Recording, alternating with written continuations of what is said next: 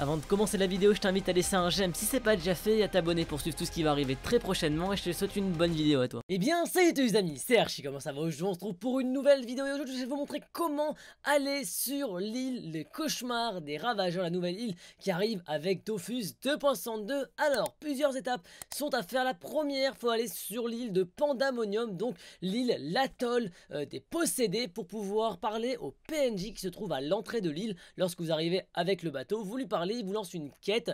Il faudra aller dropper un signe sur les mobs dans la zone. Donc en un combat, vous allez réussir potentiellement à dropper le signe qu'il faut. Vous retournez le voir, vous lui parlez, vous choisissez le bon dialogue et la quête se lance enfin. Le passage vers l'île euh, supérieure est ouverte et vous pouvez enfin accéder à la euh, caverne, on va dire, où se trouve le rituel pour passer dans l'autre dimension. Alors ensuite, il faudra pas tout de suite aller dans cette caverne là, il faudra aller dans les songes et euh, sont d'infini faire euh, quelques étages pour pouvoir dropper les rêveurs d'harmonie. C'est la ressource qu'il vous faut dropper obligatoirement. Bien évidemment, pour le dropper, c'est un objet de quête. Il faudra avoir la quête au préalable. Mais si vous avez euh, fait la quête du passage et parlé au PNJ, vous aurez cette fameuse quête. Ensuite, que dès que vous avez droppé cette ressource-là dans, les euh, dans les songes, vous retournez à cette fameuse caverne sur l'île supérieure de, de, de l'île de l'atoll des possédés. Et là, vous pourrez la balancer dans le puits.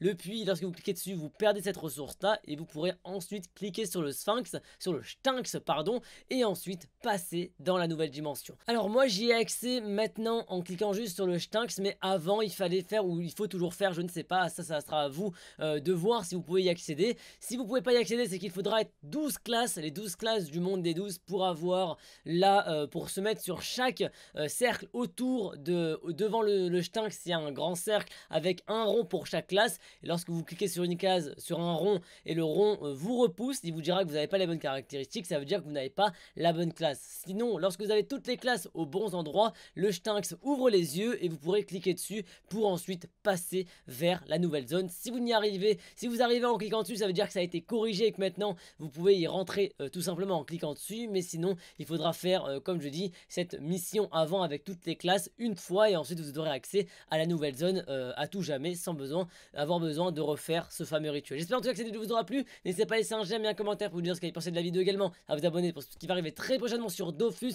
La nouvelle mise à jour arrive et on va découvrir encore pas mal de choses. Toutes les anciennes découvertes sont déjà sur la chaîne YouTube pour voir euh, toutes les nouveautés de cette Dofus, de ce Dofus 2.102. N'hésitez pas également à checker ma chaîne Twitch en description et également mon compte Twitter avec le nouveau concept pour toutes les news en format condensé avec l'essentiel. J'espère que ça vous aura plu. Moi je vous reprends pour une nouvelle vidéo. Et ciao tout le monde.